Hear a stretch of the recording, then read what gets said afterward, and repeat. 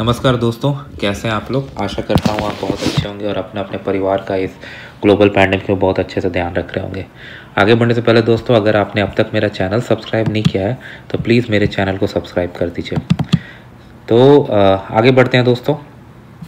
तो दोस्तों, आज की इस वीडियो में मैं आपको कुछ बहुत ही ज़बरदस्त अपडेट देने वाला हूँ। तो दोस्तों हम लोग ऑन्टेरियो कनाडा में नॉर्मलसी की तरफ़ इंच मूव कर रहे हैं। तो ये सेवनटीन से जो कि थर्सडे है capacity limit restaurant gym bars ये सबसे हटाए जा रहे हैं। और, ये जो earlier plan twenty first Feb को था बट चार दिन प्रीपोन करके अब ये फेब सेवनटीन को ही इम्प्लीमेंट किया जाएगा।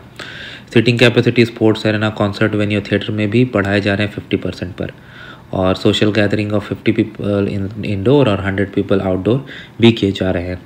ये काफ़ी अच्छा स्टेप है नॉर्मलसी की तरफ़ जाने का। इसका मतलब बहुत ज़्यादा लोग जो काम पे नहीं लौट पाए थे कैपिटल लिमिट्स की वजह से, वो वापस काम पे लौटेंगे। तो हायरिंग तो होगी अभी। उसके अलावा बूस्टर शॉट के शॉट्स की एलिजिबिलिटी भी बढ़ा दी जाएगी पीपल बिटवीन 12 टू 17 फेबररी 18 को स्टार्टिंग 8 एम तो हमें बहुत सारी बुकिंग्स भी देखने को मिलेगी। एंड मार्च वन से सारी कैपेसिटी लिमिट हटा दी जाएगी और गवर्नमेंट ये मैंडेटरी प्रूफ ऑफ़ वैक्सीनेशन को नॉन एसेंशियल बिज़नेस में घुसने के लिए मैंडेटरी नहीं करेगी हालाँकि यहाँ पर एक पॉइंट है। बिज़नेस जो है, उनको गवर्नमेंट ने अपॉर्चुनिटी दी है एक बिज़नेस खुद डिसाइड कर सकता है कि वो प्रूफ ऑफ़ वैक्सीनेशन अप्लाई करना चाहता है कि नहीं।